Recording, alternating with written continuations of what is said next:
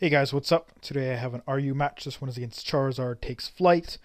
Uh, looking at his team, I'm like, he's got uh, two things weak to rocks, and I want to get them up. Yeah, he's got a Sandslash, but if he does lead with it, I can Toxic him and you know mess up his day and stuff like that. And he can't really touch me. Earthquake, uh, maybe if he has like knockoff, it'll annoy me or Toxic. But uh, yeah, other than that, I'm pretty confident that you know Gligar's the right Pokemon to lead. As for threats, I'm like that Jynx and that Rotom are kind of annoying because Jynx is like just sort of threatening in general, and Rotom is usually scarfed and fast and stuff. But I'm gonna go to Ferroseed. He's actually gonna lovely kiss on the first turn, which is generally what lead Jynxes do. And he's gonna switch out, so I'm like maybe he's scarfed. I'm not sure. Lead Jynxes generally are focus sashed, and maybe he's just switching out because he has uh, like again I I'm neutral to his Ice Beam, and I resist his Psychic. But I'm going to switch to Crawdaunt, which is the only other thing that can really handle Jynx, because I resist his Ice Beam, and I am immune to Psychic. Um, he goes for the Stone Edge, which would have easily 2-hit KO'd me, but he misses. Uh, and I go for the Crunch, over-predicting on the Rotom Cut switch in, but that doesn't happen. Uh, he's going to switch out because, you know, he doesn't, he can't 2-hit KO me anymore because he's only going to get one more attack off. And he figures uh, he can save it. So he switches into his uh, Mandibuzz. I'm going to go for the Crunch again, again, thinking Rotom will come in. And then I taunt him because I know he's probably going to want to do stuff. I'm going to get a flinch on the waterfall, which is excellent because the thing is, Crawdaunt usually either I don't use it in the battle at all or like it's fodder because I can never really get Dragon Dances up. And this whole time I'm like, I don't want a Dragon Dance because this Rotom is probably scarfed and can handle me. So go for the waterfall again not over predicting and actually under predict because he now finally switches into Rotom, but I get a crit, which is excellent. I switch to Ferroseed. He goes for the Will-O-Wisp. I figure he's probably choiced with just Will-O-Wisp, so he's going to switch out.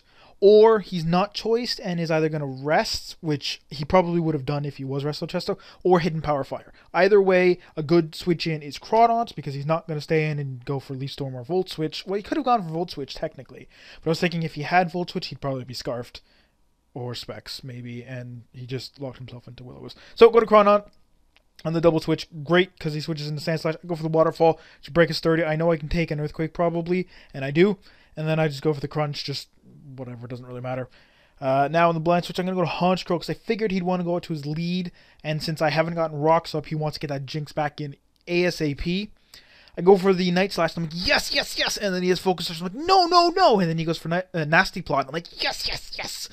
So I was, because I was expecting him to just ice beat me, right? But he was thinking I was going to be, you know, your standard Honchkrow, and I was going to go for the Sucker Punch, and he'd just get up a nasty plot, and then he could leave my Sucker Punch guaranteed because of the uh, Focus Sash. But no, I'm Scarfed, and I end up taking him out, and that's excellent.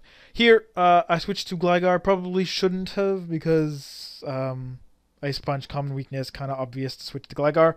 Probably should have switched to Ferroseed, because he's actually Scarfed, judging from this damage, unless he's like fist plate or something, but I think he's scarfed because he's not changing moves. Although he wouldn't want to, but I'm pretty sure he's scarfed.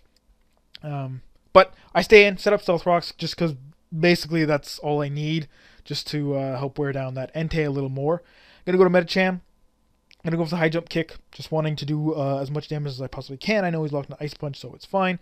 He's to switch back into Gallade. He's actually to go for the close combat, which is his strongest move. He said he meant to go for Night Slash, I believe, if I recall correctly. This battle was a couple days ago.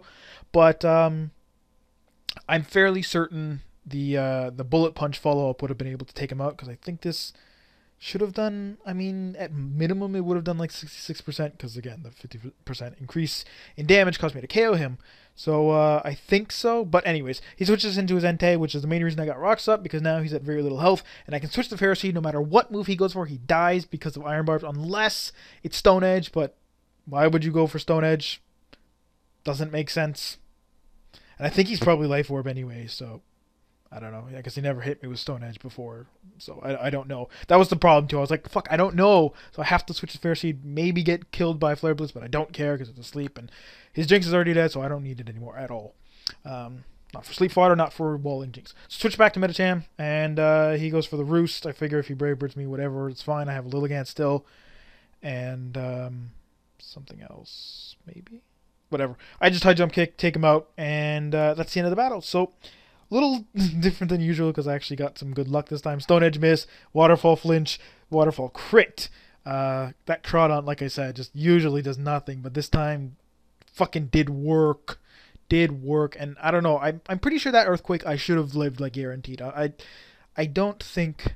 I think I calculated and it was like a really good chance to live. Because I was like, I, I know I'm not going to kill him because it's sturdy. So I'm like, no, but I'll live Earthquake, whatever. And I figured he'd set up Stealth Rocks anyways, which wouldn't have helped that much his cause.